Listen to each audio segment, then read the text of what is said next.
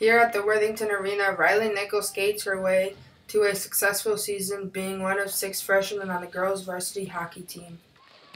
Riley adds humor to the team as well as being involved in tennis and band. She is an outgoing, shy teen who has determination to be a great hockey player and an individual off the ice.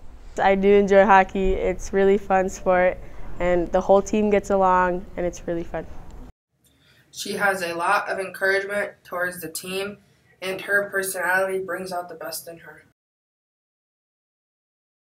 Riley Nickel is a freshman at the Worthington High School and is a part of the Worthington girls varsity hockey team. Riley Nickel is an outstanding freshman at the Worthington High School. She has been playing hockey for seven years. Riley has scored 17% of all the goals for the WHS girls hockey team and has also had seven assists and nine goals this season. She has taken 12 shots on goal.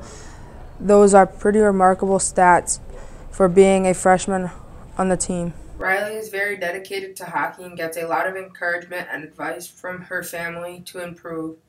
She has strengthened her abilities in hockey and is constantly learning new skills. Uh, Riley has confidence whenever she's on the ice, and she's a team player, and she provides our team with a lot of speed. Riley Nickel is the most outstanding freshman on the girls' varsity hockey team. When it comes to the goals and shots, Riley has the most goals and assists on the team as a freshman. We wish Riley the best of luck in the years to come. We hope that Riley can achieve her goals and continue to grow in hockey. This has been Abby McCarvel for Trojan News. Yeah, on the next, next thing of Trojan News. Thank you.